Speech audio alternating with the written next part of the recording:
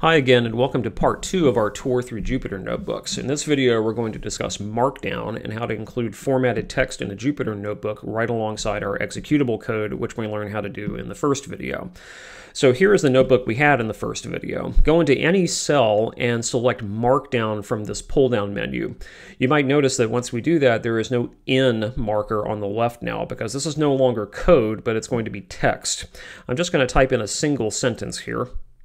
Now hit Shift Enter when we're done, just like you would to execute Python code, and the result is text that is formatted for reading on the screen. If all we wanted was to produce plain basic text, then that's it. We just use a markdown cell to do that. However, we can go considerably farther with that. Markdown is a text formatting language very similar in style to HTML, but simpler since it's only focused on formatting plain text. Markdown is actually the most common text formatting system on the web. For example, documentation in GitHub is written in Markdown, and so are comments on Reddit. We're going to add some formatting to the basic text that we just created. So go to the text we produced and double click on it. And what this will do is convert the text back to its source that we can edit. We're going to add italics, boldface, and a clickable hyperlink to this basic text here. To add italics, just put asterisks around the text you want to italicize. Note that Jupyter formats the text source so that it looks italicized in the source code, and if you hit Shift Enter to execute this, you see that the readable text on the screen is also italicized.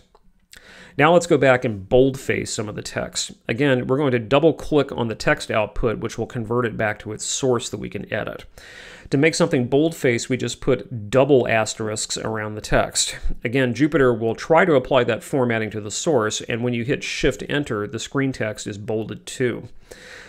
Finally, let's create a, create a clickable hyperlink. I have a page over here in a separate browser tab that has the official documentation for Markdown, which I hope you'll take time to read and play with.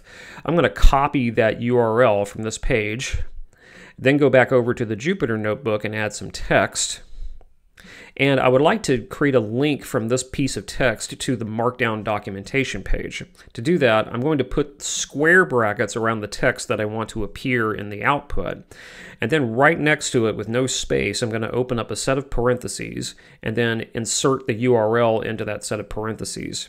This doesn't really format to anything in the source code, but when I hit Shift Enter, you'll see that the text now has a hyperlink to it, and I can click on this link to bring up the page that I linked to. So Markdown has a lot of features you might use, all of which are spelled out in the documentation, and there are a million different Markdown tutorials online and in print. Let's just cover two more Markdown features, headings and creating bulleted lists. You can create a multiple level heading in Markdown documents using the hashtag symbol. For example, here's an instance of creating a Markdown cell with three levels of headings. The top level heading I'll indicate with a single hashtag, and you'll notice that the text next to it is very large and bolded. Two hashtags represents a second level heading, and three hashtags represents a third level heading. And you can keep this going and create as many he heading levels as you want. Be sure to put a space in between the hashtags and the text of the heading. And when you hit the Shift Enter to evaluate the code, you see the headings show up properly formatted. Let's double click on that text one more time to go back and edit a little bit more. Let's create a simple bulleted list, and this is very simple. To create a bulleted list, I'm just going to put a dash or a plus sign wherever I want a bullet to go. So here's a very short example. You can also create multiple leveled lists by going below one of the top level bullets and hitting tab and then entering in a second bullet. They won't appear any different in the source, but they will look right when you execute the code. That's it for the second video. In the third and final video, we'll do a very short example of putting this all together to make a document that combines text and code, and we'll see what we can do with it using the menu and toolbar options.